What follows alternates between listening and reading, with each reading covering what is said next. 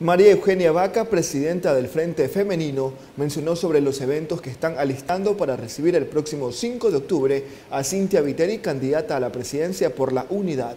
Mencionaron además sobre algunas estrategias que prevén llevar a cabo con el objetivo de buscar apoyo a escala nacional.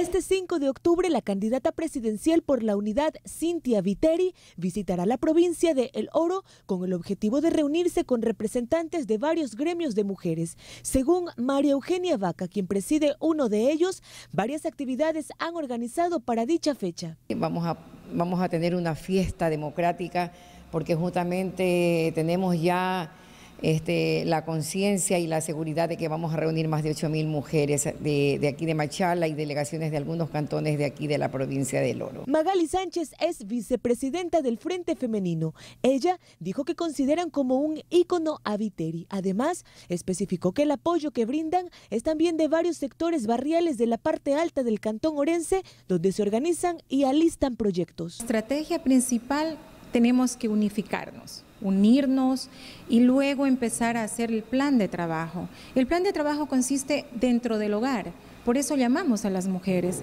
porque es la mujer el ícono, el centro de todo lo que es el núcleo familiar. Prevén contar con casi 10.000 mujeres, dijo Cecibel Rivera, vicepresidenta del Consejo Parroquial de Puerto Bolívar, quien añadió que el acto se desarrollará en las canchas de la Ciudadela del Seguro. Es, nosotros nos sentimos identificadas con ella, porque muchas de las mujeres machaleñas y orenses, como a nivel del Ecuador entero, han sufrido y han pasado por la misma situación que ella muchas veces eh, y por eso nos sentimos identificadas. Que las mujeres son multifacéticas, que desempeñan cualquier actividad, ya sea en áreas sociales o cargos públicos, aseguran las representantes del Frente Femenino. Por ello, consideran que exista o no una sociedad machista, la mujer ha ganado gran espacio en roles políticos de América y el mundo.